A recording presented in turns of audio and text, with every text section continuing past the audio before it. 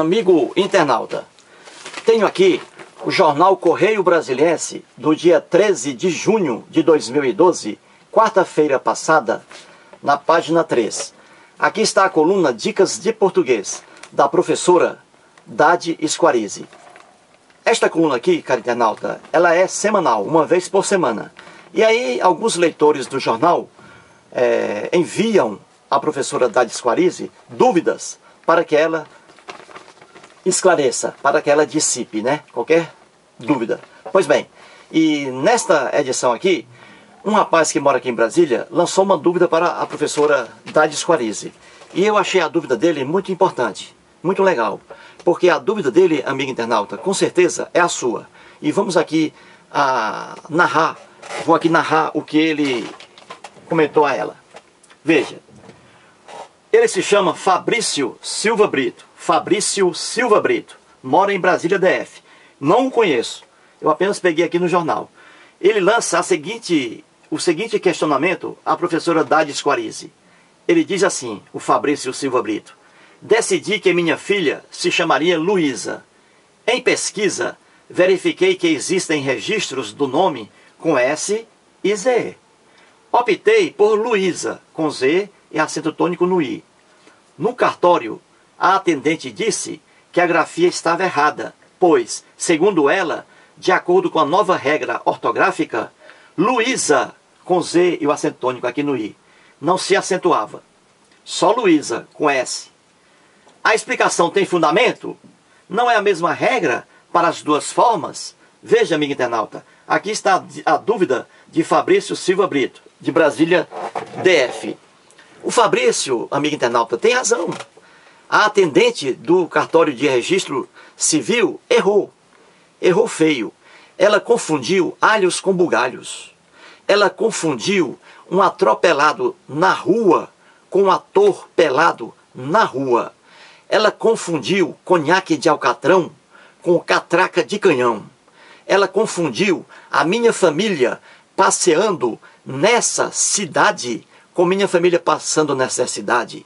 E ela confundiu a grande obra-prima do mestre Picasso com a grande pica de aço do mestre de obra.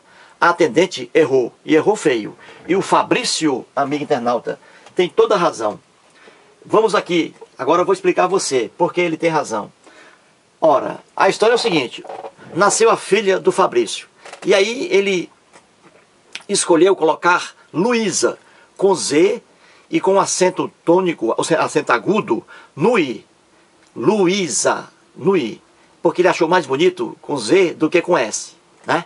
Pois bem, aí ele foi ao cartório de registro civil para registrar ali o nome da criança. Chegou lá, a atendente disse a ele que Luísa com Z não cabe em Luísa com Z o acento agudo no I. Só se for Luísa com S. Aí sim é acentuado. Ora, ela confundiu, como eu disse, alhos com bugalhos. E o Fabrício tem toda a razão, tá? Tanto é que ele pergunta aqui, ó. Não é a mesma regra para as duas formas? Claro que é, Fabrício. Claro que é a mesma regra. Vamos aqui, ó. Luísa com Z, acento agudo no I, e Luísa com S, acento agudo no I. A mesma coisa, tá? Isso aqui é a mesma coisa. Então vamos aqui à separação silábica. Luísa, três sílabas. Luísa, três sílabas. Muito bem. Aqui vamos fazer o estudo do I e do U quando em sílabas tônicas, formando o que? Hiato. Em vídeo anterior, já expliquei a você, internauta, o que é hiato e fiz as diferenças. Pois bem, e aqui é um hiato. Então vamos aqui. O que eu vou dizer aqui vai servir para o I e para o U, tá? Então vamos aqui.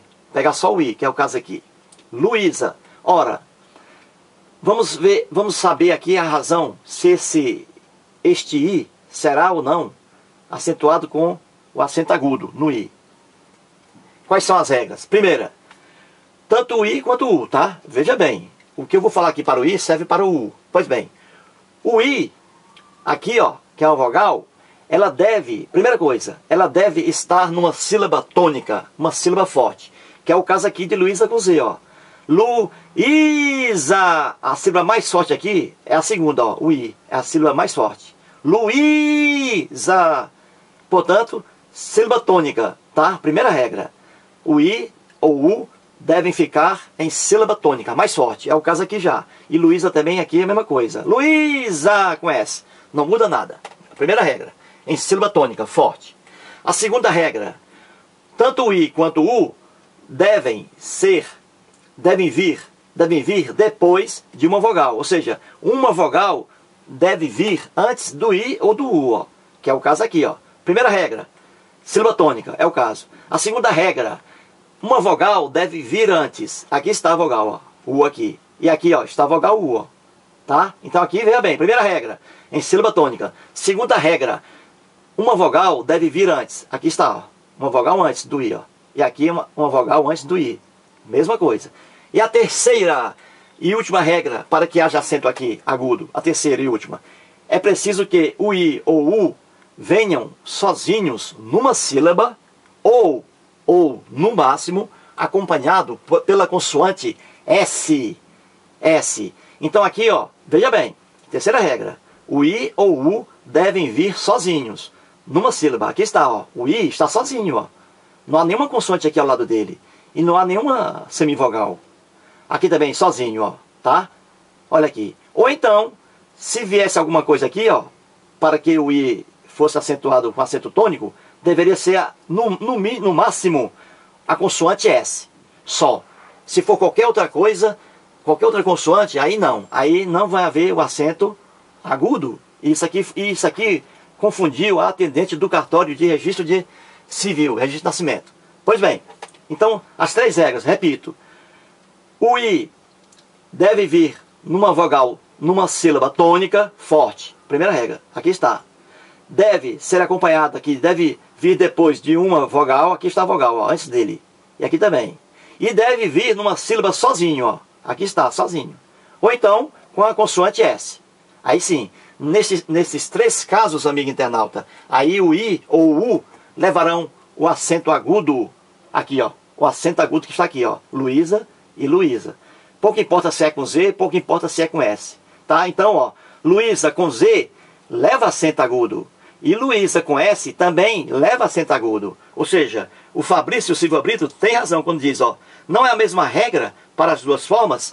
Claro que é, Fabrício. Vocês têm razão, parabéns. Então a mesma regra, amigo internauta, serve para o U também, ó. Saúde! Olha aqui, U. Em sílaba tônica mais forte, primeira regra, sílaba tônica. Segunda regra, é preciso que uma vogal venha antes dele. Aqui está a vogal antes, ó. E a terceira regra, que ele venha sozinho ou no máximo com a consoante S. Pronto. Numa sílaba tônica e vogal antecedendo e consoante e ele sozinho e no máximo uma consoante S, aí sim haverá acento agudo. Ó. Então saúde, acento agudo. País, olha aqui, outro exemplo, ó. País. Vamos separar. País. Olha aqui, o I, amigo internauta, vem em sílaba tônica, sílaba forte. Aqui está. País. Olha o acento. O I em sílaba tônica.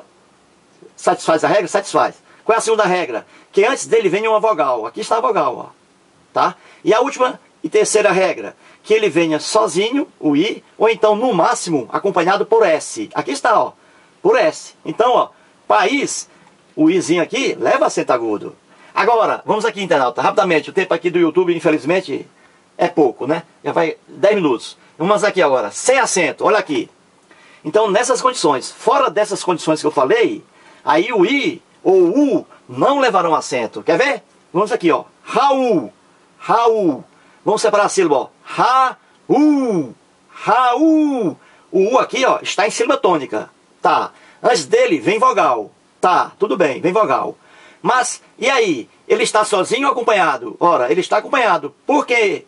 Por que ele está acompanhado aqui? Ele está acompanhado. Ora, porque existe aqui, ó, a consoante L. Ora, quebrou a regra. O U tem que vir sozinho para ser acentuado. O U tem que vir sozinho na sílaba, com aquela condição, né? Na sílaba tônica, acompanhar antes de, é, depois de uma vogal.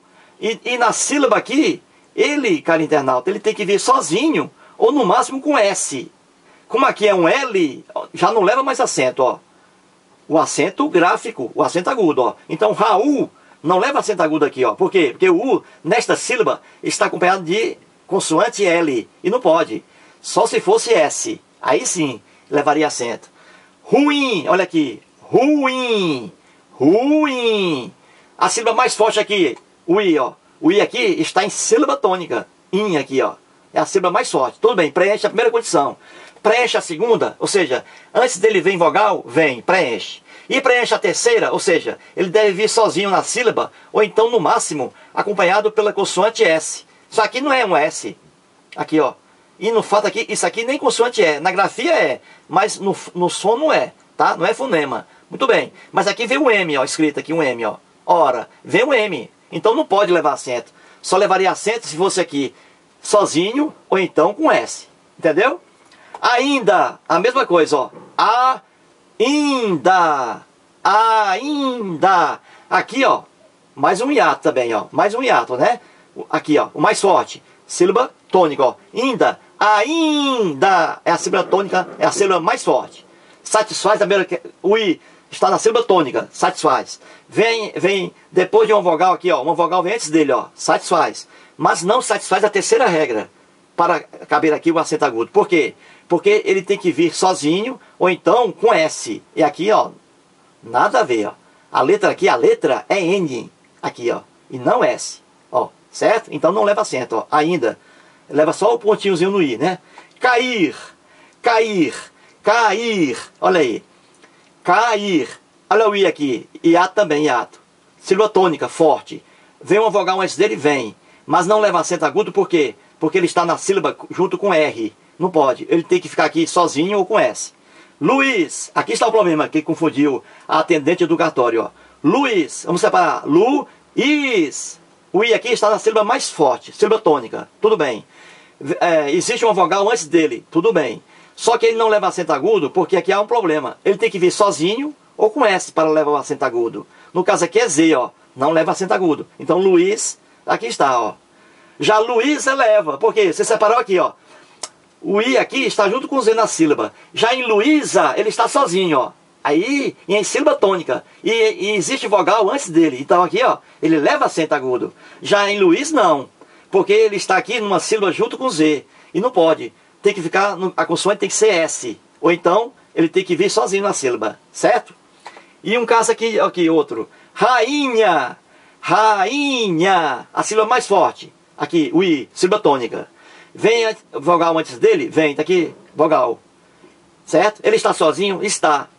Aqui caberia aqui, ó. Mas a regra diz, a regra diz que no caso, aqui, ó, quando ele vem antes do dígrafo NH, que é o caso aqui, ó, NH, antes do dígrafo, então aí não haverá acento agudo, ó. O único caso, ó. Rainha, ó. Caberia tudo aqui, ó, o, o acento agudo. Mas como vem o NH depois dele, ó, em outra sílaba, ó, NH, então não cabe acento, tá? Nesta regra.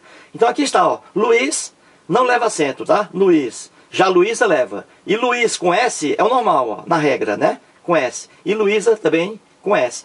Ou seja, o Fabrício, o Fabrício Silva Brito acertou em cheio. Muito obrigado.